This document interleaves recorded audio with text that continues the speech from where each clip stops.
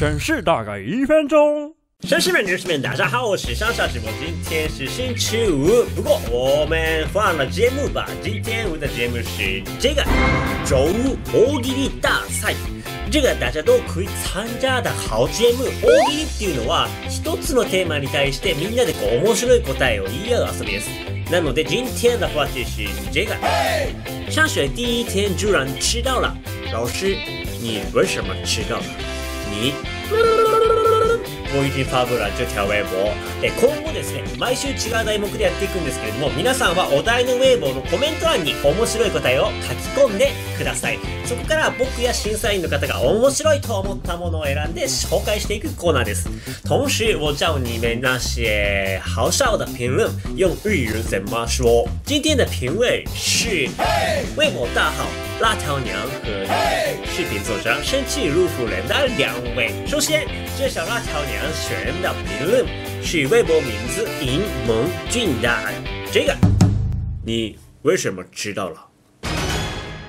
だってこうしないと先生と二人っきりで会話できないでしょ愛してるよ、先生。理由。好，现在开始脑补一下你们数学老师、语文老师、英语老师、各科老师的脸，然后告诉我这个理由，你确定说得出口吗？不会，不会，我选择公开。 我非常讨厌自己的这么丰富的想象力啊！好污，好污，好污啊！好，那路虎人生的评论是微博名字，看谁读不出中间两个字的王三的这个评论，你为什么迟到了？校長室に行ってました。理由？这种真实而又无懈可击的的答案让我潸然尿下。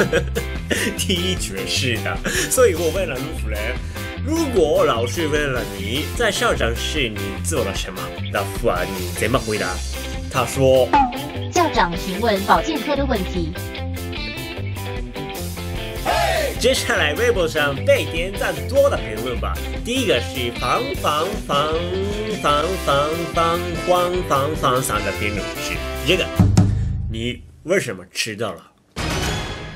先生、昨日の夜すごすぎて、今朝起きられなかったんです。听起来跟老师通宵学习的样子嘛，嗯，那没办法，是个好学生嘛。